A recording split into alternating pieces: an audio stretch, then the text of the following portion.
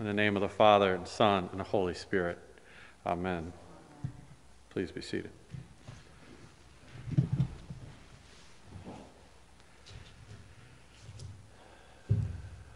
Thank you both uh, for your wonderful readings today. We're so blessed uh, to have fantastic readers. Two weeks ago was Martin Luther King Sunday, and we talked about his example of living love, of choosing love over hate, of the beloved community, and that following Jesus has practical application in our life, in our community, in our world. Last week, Paul gave us a shape of that love and community, and that shape is the body of Christ. And we explored questions like who is part of the body of Christ? What happens when we aren't a full body? And I shared a story about what it looks like when we are a full body. This week, the animating force that moves this body into action is love. And everyone can do their part, just the little bit right in front of them. And we don't have to do it alone. And we know from Jeremiah today that we don't do it alone. And this is affirmed in our baptismal covenant. And I'll tell you what, I've been listening to a podcast lately called The Rise and Fall of Mars Hill. And um, it's about an evangelical megachurch in Seattle and the sort of narcissistic megalomaniac who, who built that whole sort of empire. And I'm I'm always convicted at, at how valuable the Episcopal Church is, our long, ancient tradition, which can sometimes feel stuffy. It can sometimes feel like maybe not the most exciting thing all the time. But what we do here is, is sacred and sacramental. We believe in the power of the sacrament. And so,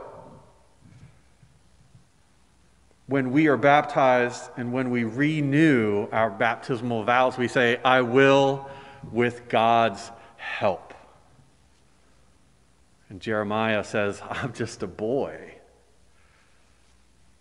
And God says, I will be there with you. Jeremiah says, How can I do this? I can't. You're, you're calling on me to do something I really think I can't do. And God says, I knew you from before the womb. And I will give you the words to say. I got you.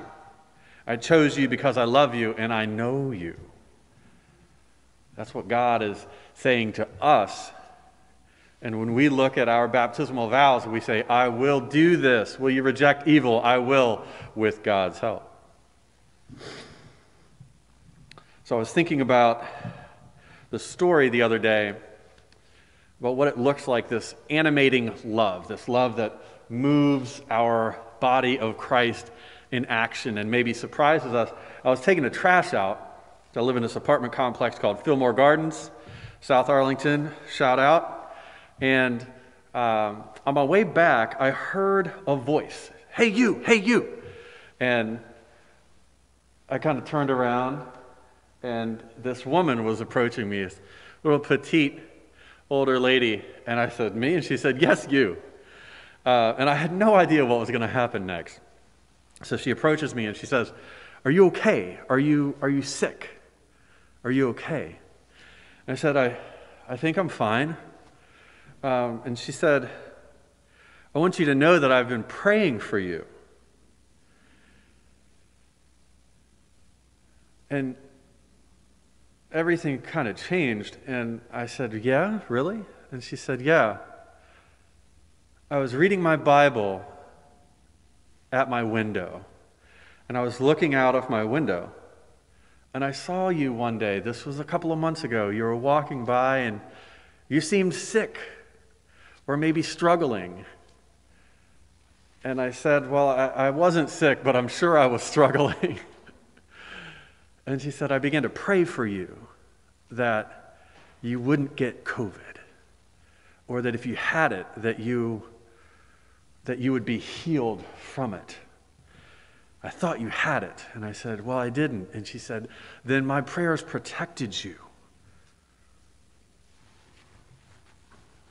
She said, I also I saw I see sometimes that you have a collar. And I said, Yeah, yeah, I'm I'm an Episcopal priest. And then she said, Episcopal? You know, in the early 2000s, my brother and his wife, they live in Ethiopia, where I'm from. This is what the woman is saying to me. She said, I found out that he and his wife were diagnosed with AIDS. And I was living here, and I was so distraught, I didn't know what to do. So I, I just walked out of my house and I just kept walking. And I kept turning and walking, and my tears were streaming, and I didn't know, I didn't even know why I was walking or where I was going to. And all of a sudden, I ended up at a church. And I went in and I said, I, I need a place to lay myself before the Lord, to throw myself down before the Lord and give him my pain and pray for my brother. This happened to be an Episcopal church.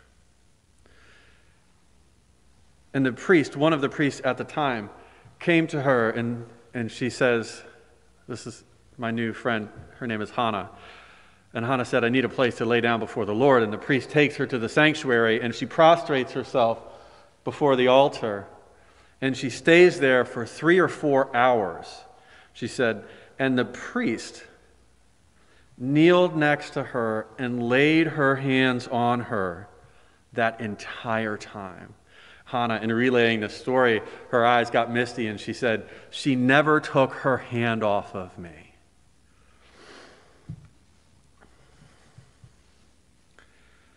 So, there's a couple of images when we think about being the body of Christ that I want us to sit with. And one is that Hannah is sitting there reading her Bible right at the windowsill and looking out the window. Imagine that, reading our Bible out the window.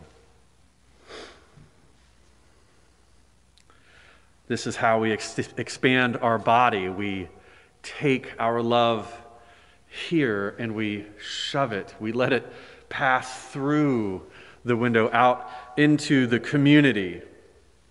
This outward prayer.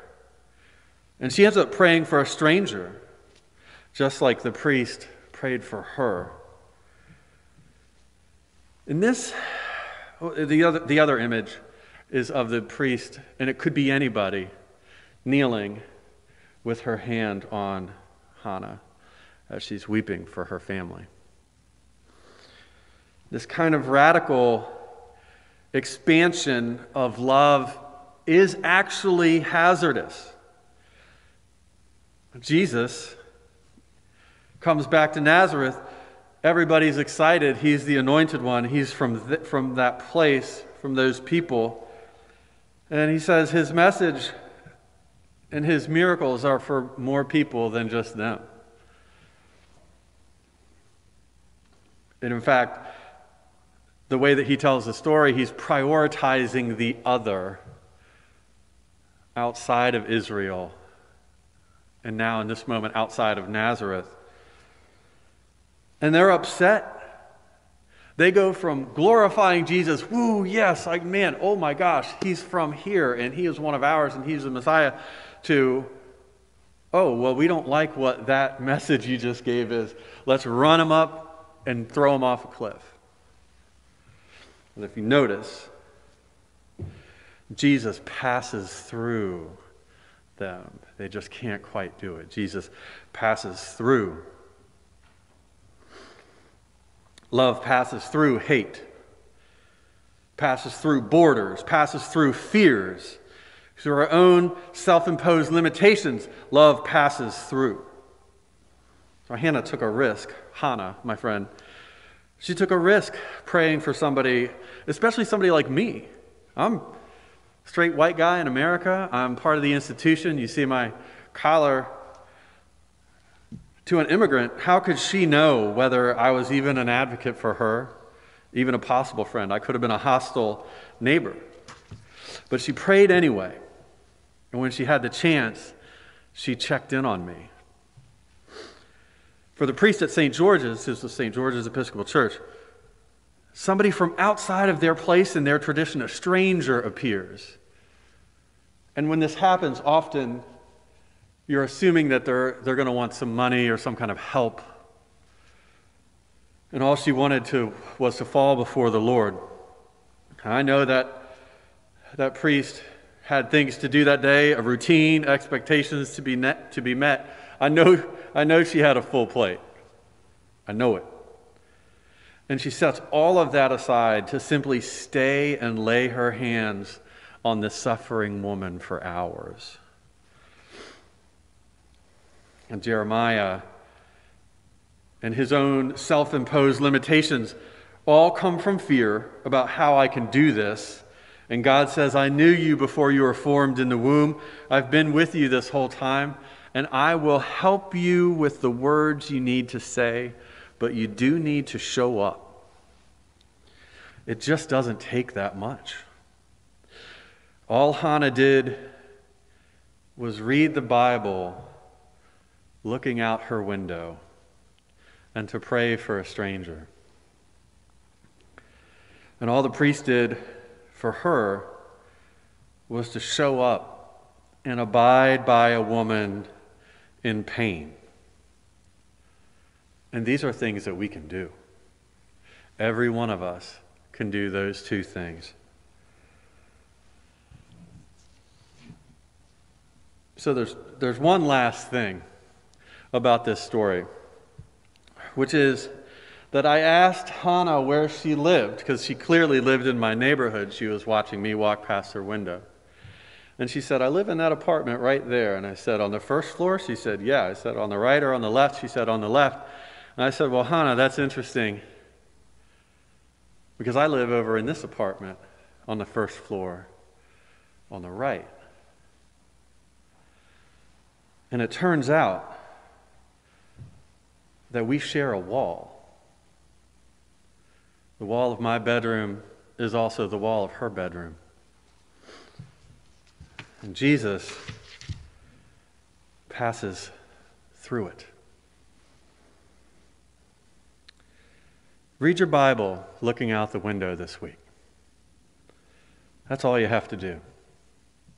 God will do the rest. Amen.